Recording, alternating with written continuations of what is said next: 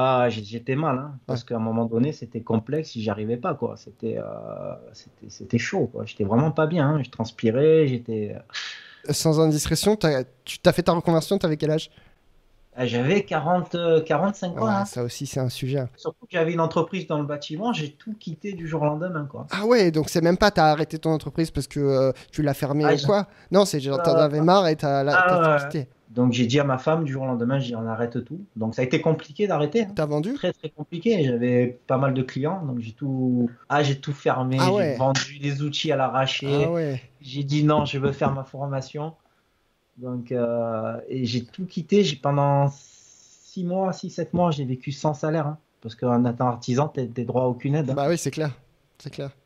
Donc euh, j'avais vendu le camion, j'avais vendu tout ce que j'avais, j'avais plus rien. Il me restait juste des sous pour finir ma formation. Et je dis, allez, on y va. Salut à tous et bienvenue pour ce deuxième épisode de Reconverti, où aujourd'hui je suis accompagné de Stéphane Job, qui est passé de entrepreneur en bâtiment à développeur mobile. Stéphane a commencé le dev en 2017 en se formant sur Open Classroom, euh, sur des, cours de HTML, CSS, JavaScript. Puis ensuite, il s'est inscrit à la Wild Code School en 2018 pour pouvoir suivre le cursus euh, développeur web et finir développeur mobile en React Native euh, à l'issue de sa formation. Stéphane va nous raconter aujourd'hui comment est-ce qu'il a fini sa formation, comment il a trouvé ses premières opportunités qui aujourd'hui l'emmènent vers un emploi qui va l'emmener très prochainement au Vietnam.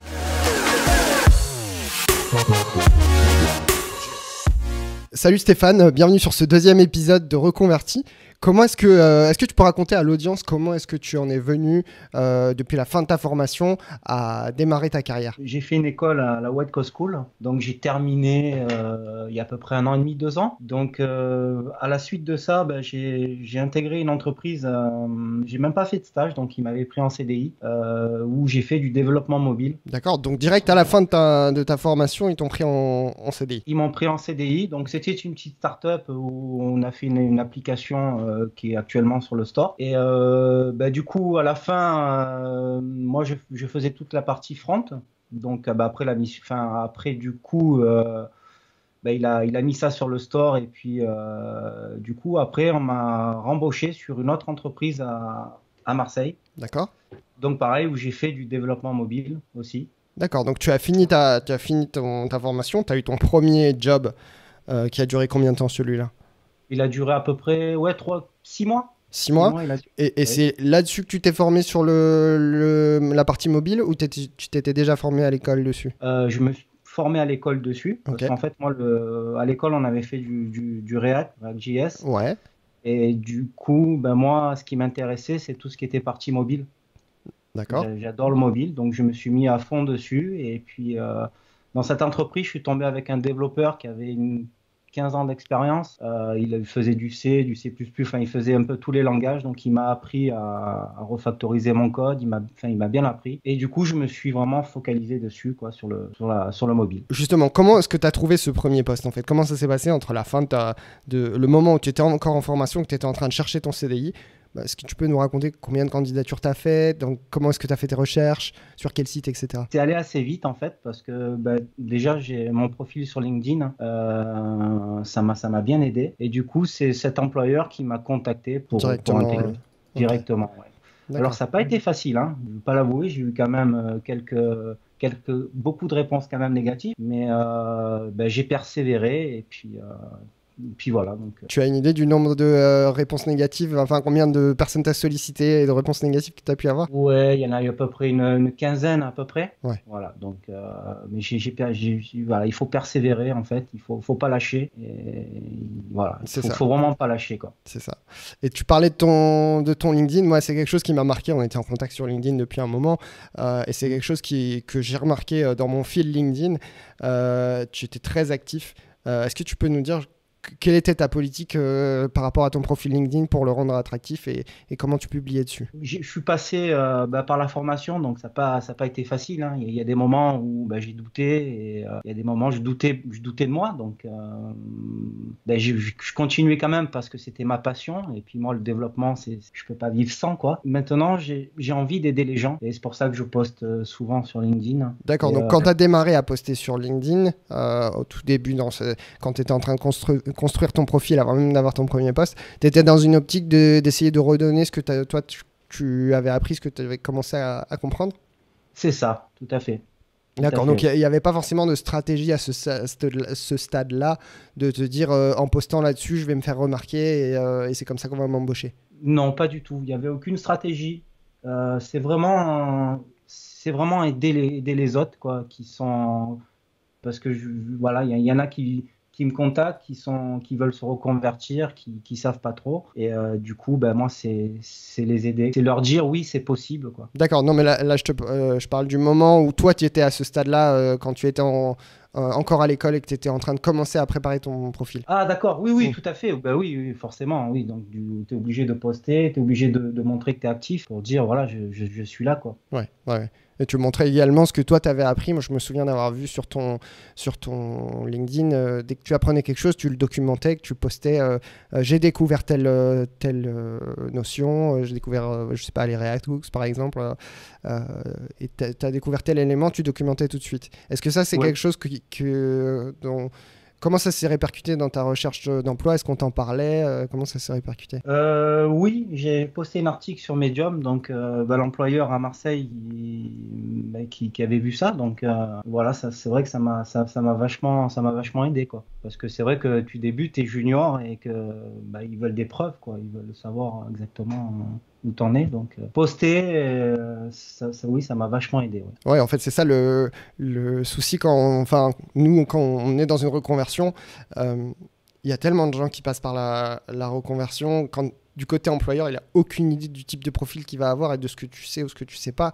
Et euh, le fait de, de, vous voir passer régulièrement sur son fil LinkedIn, il se dit Ok, bon, bah, ce mec, il a au moins compris un petit bout. Ah, bah, je vois qu'il a progressé par rapport à la dernière fois. Il a remis, euh, il a remis euh, tel point. Ok, bah, un, il est passionné, deux, il sait faire sa veille techno tout seul, et, et, et, il progresse tout seul, je le vois. Donc au moins, je sais que je peux lui parler, je sais, euh, je suis pas complètement dans le flou à me baser sur un CV qui me dit 70% JavaScript. C'est ça. Voilà. tout à fait. Ouais, tout à fait. Comment, comment est-ce que tu fais ta veille techno, toi euh, bah, Est-ce que, est que ça a changé entre le, le moment où tu démarrais et aujourd'hui? Alors, en fait, euh, quand, quand, quand j'ai fini ma formation, je suis parti un peu de tous les côtés. J'ai voulu apprendre tous les frameworks possibles, inimaginables. Euh, et puis à l'école, on avait fait aussi du, bac avec du, Node.js. Mhm.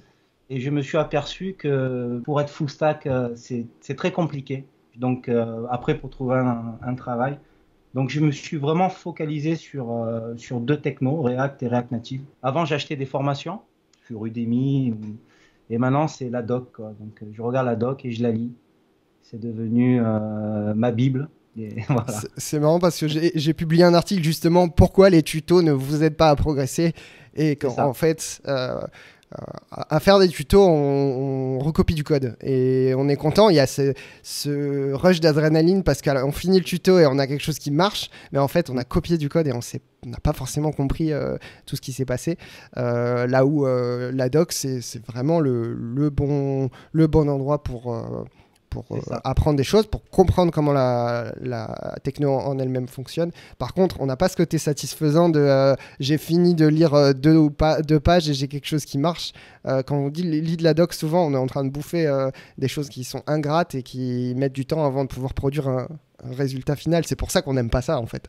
Ouais, tout à fait. Mais moi, ce qui m'a vachement aidé aussi, c'est que, en fait, avec le développeur avec qui je t'avais dit que j'avais travaillé, il avait quand même pas mal d'années d'expérience, il m'a toujours dit le plus important c'est d'avoir la logique. Quoi. Donc les, le framework c'est juste un outil. Donc euh, si derrière tu as la logique, tu peux euh, bah, t'apprends apprends plus facilement. Alors ce que je fais c'est que tous les soirs avant de me coucher, je fais quelques exercices d'algo sur CodeWar. Ok. Je suis inscrit je, fais, je fais beaucoup d'algo pour. Euh, et je m'aperçois que maintenant, ça devient plus facile de, de, comprendre. quoi. Est-ce que tu peux nous expliquer comment, parce que je suis assez critique moi sur ces exos d'algorithmie, euh, surtout dans les processus d'embauche en fait. Euh, en quoi est-ce que des exos sur CodeWars t'aident à produire une meilleure app React ou React Native? Ben, disons que quand tu arrives sur un algo, déjà, il faut, faut arriver à comprendre déjà euh, ce, qui, ce, qui, est demandé. voilà ce qui est demandé déjà. Tu dois résoudre cet algo, mais donc tu, tu, réfléchis en fait comment tu peux aller rapidement quoi pour, pour, pour, résoudre cet algo. Et du coup, quand je fais du React natif, en fait, des fois, c'est pas que des views derrière, tu as quand même, as quand même un peu, un peu de logique. Mmh mmh Donc du coup, c'est ça qui m'aide en fait. C'est, euh, tu vois, tu vois, sur JavaScript, tu as beaucoup, tu utilises beaucoup le map, le filter, le. Ok, d'accord, tu utilises Redux, mais disons que tu as, plus, tu réfléchis beaucoup plus rapidement en fait. D'accord. Donc, donc en fait, le, le fait de, de, multiplier ce genre d'exercice te permet de, de résoudre tes problèmes d'app. Par exemple, euh, voilà, tu as besoin d'afficher un tableau qui va pouvoir filtrer euh, suivant telle entrée ou telle entrée. Euh, tu vas pouvoir résoudre ce problème beaucoup plus rapidement. Parce que tu as fait toute une série d'exercices qui t'ont permis d'apprendre à, filtrer de manière optimale, etc. D'accord, oui, ouais, c'est ça, exactement ça. Ouais. Et même quand je regarde les docs, tu vois, je sais pas, mon cerveau, je l'habitue, je sais pas, mais j'ai beaucoup plus de facilité euh, en faisant ces exercices d'algo. Je sais pas pourquoi. Avec moi, ça marche. Donc, euh, mais je pense que c'est quand même important. enfin, pour moi, l'algorithmie, c'est quand même euh, c'est quand même une étape importante. Ça te permet de progresser. Et, et là, ce qui est bien, ce que tu, que euh, tu as souligné en fait, c'est que tu es déjà dans des bonnes steps pour avancer ta carrière super vite et passer à des steps de développeur confirmé, développeur senior super rapidement. C'est aussi ce que je recherche euh, pour, pour, ma part. Euh, mais effectivement, quand, quand on démarre, les cours Udemy et la doc, moi je trouve que c'est super. Je pense que moi, tu vois, quand je veux apprendre quelque chose, oui, je regarde un tuto forcément. ça me permet de dégrossir. Mais c'est après, c'est vraiment de suivre la, la, la, doc, quoi. Donc, oui, en, partant du tuto, tu vois, le, tu vois les méthodes qui sont employées, tu vas chercher dans la doc à quoi correspond cette méthode. C'est ça, voilà, tout à fait. Et vraiment, c'est pratiquer, pratiquer, pratiquer. Il n'y a, y a, que ça, quoi. C'est-à-dire, tu, tu, tu, regardes un tuto, tu, d'abord, tu, tu, regardes un peu la doc et puis tu, bah, tu fais ce qu'il te, te, dit de faire, tu essaies de comprendre. Et j'avance comme ça, petit à petit. Quoi. C'est pas facile, mais voilà, il faut, il faut, il faut, il faut y aller, quoi. Pas le choix. Alors, tu, tu m'as dit euh, récemment que donc, ta carrière ayant euh, avancé, donc tu es passé de cette première opportunité de six mois à une deuxième avec le même, euh, le même employeur, c'est ça? Sur un nouveau projet? Ouais, sur un nouveau projet, oui. Et après, en fait, ce qui s'est passé, c'est que en fait, il a, il a sorti l'application, mais c'était une petite start-up. Donc, il avait des difficultés un petit peu financières. Donc, euh, bah, du coup, j'ai trouvé quelque chose de suite après dans, dans, le mobile, pareil. Et euh, donc, je suis resté, je suis resté trois mois. C'était un petit peu loin de chez moi, mais euh, j'étais en CDI, hein, pareil. Et puis là, je travaille pour une entreprise Fidesio qui est à Paris. Pareil en CDI. Et là, je, je, je, travaille à distance parce que j'ai le projet bientôt de partir. c'est une boîte qui est au Vietnam. On avait discuté. Mmh. Donc normalement, bientôt, je pars au Vietnam euh, travailler là-bas. D'accord. Donc là, c'est une, c'est une nouvelle boîte ou c'est la même boîte qui t'envoie au Vietnam?